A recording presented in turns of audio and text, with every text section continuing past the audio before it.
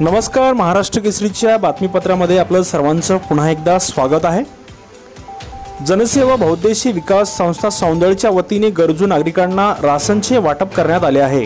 सळगर्जुन तालुक्यातील ग्राम सौंदळ येथील जवळपास पन्नास नागरिकांना राशनचे वाटप करण्यात आले.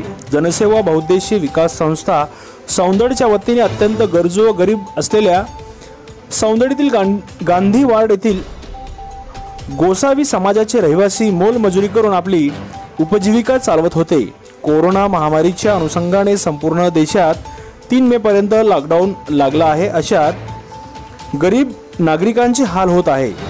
हाताला काम नसल्यामुळे खिशात रुपया नाही उपासमारीची वेळ आली आहे. त्यावर माणुसकीच्या वसा जपत आपले प्रथम कर्तव्य पार पाडीत सौंदर्यातील जनसेवा बहुद्देशी विकास संस्थेचे अध्यक्ष हर्षभाऊ मोदी यांनी व त्यांच्या मित्रमंडळींनी गावातील जवळपास पन्नास नागरिकांना आज दिनांक वीस एप्रिल दोन हजार वीस रोजी अत्यावश्यक जीवन उपयोगी स्वयंपाकाचे साहित्याचे वाटप केले आहे. यात पाच किलो तांदूळ डाळ मीठ मिरची तेल यासारखे साहित्य वाटप करण्यात आले आहे. यावेळी गावातील सामाजिक कार्यकर्ते श्री मदनभाऊ साखरे रंजुताई भोई सुखदेवजी क्षीरसागर सावल इर्ले सुभाष सावरकर लताताई बैस सह अन्य कार्यकर्ते मोठ्या संख्येत सहभागी होते. हर्ष मोदींनी राष्ट्रीय महामार्ग क्रमांक सहावरून जाणाऱ्या अनेक गरजू व गरिबांची मदत करत जेवणाची सोय अनेक वेळा केली आहे. मनुष्य सेवा हीच ईश्वर सेवा समजून सातत्याने हे कार्य चालू आहे व ते पुढेही चालू राहील असे आश्वासन हर्ष विनोद कुमार मोदी यांनी यावेळी दिले आहे.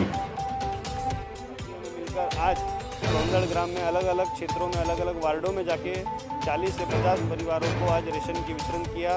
ये रेशन इसलिए वितरित किया गया है क्योंकि जो मजदूर, रोजंदारी वाले जो लोग हैं, जो रोज अपने व्यवसाय को जाते हैं और रोज कमाते हैं और खाते हैं, ऐसे लोगों की बहुत बड़ी इस लॉकडाउन के समय पर समस्या निर्माण हो चुकी है।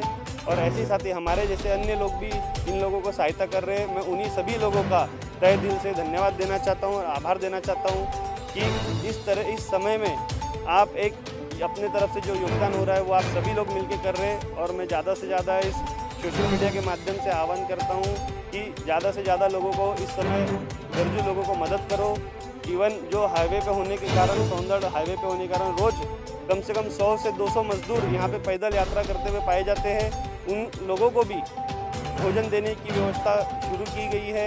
कई कई और भी हमारे जैसे संगठन यहाँ सौंदर्य क्षेत्र में सड़क और तहसील में काम कर रहे हैं। सभी लोगों का धन्यवाद देता